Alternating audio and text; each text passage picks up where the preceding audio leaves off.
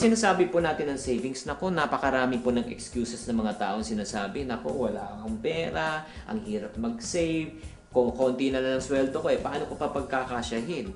Marami tayong pwedeng gawing excuses, pero ang, ang natutunan ko sa buhay, ito po, kung gusto, gagawa po ng paraan. At kung ayaw, marami naman pong dahilan.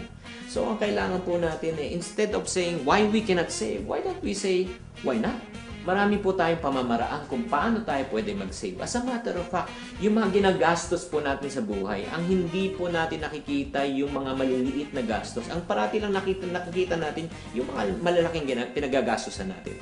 Halimbawa, kung sino man sa inyo bumibili po ng mga bottled water or mga juices o mga iced tea, tanggalin lang po natin yan sa budget natin. Halimbawa, gumagastos po kayo ng mga 20 pesos sa isang araw lang ha. Once once a day lang kayo umiinom ng mga bottled juices, that's 20 pesos times 30 days. That's 600 pesos already a month.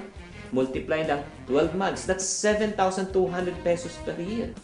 Eh paano pa kung kayo po ay naninigarilyo?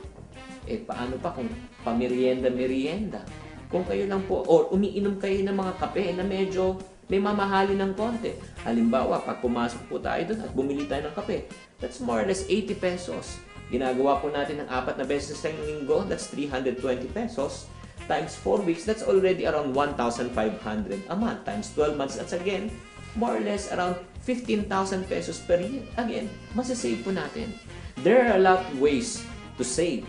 Ang importante lang, kailangan po tayo mag-decide na kailangan po natin mag-save.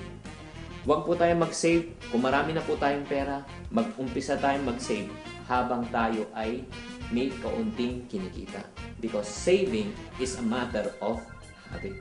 So mga kapatid, umpisahan po na natin mag-save, pakunti-konti. At makikita nyo in one month, in one year, ang dami nyo na pala po na ipon.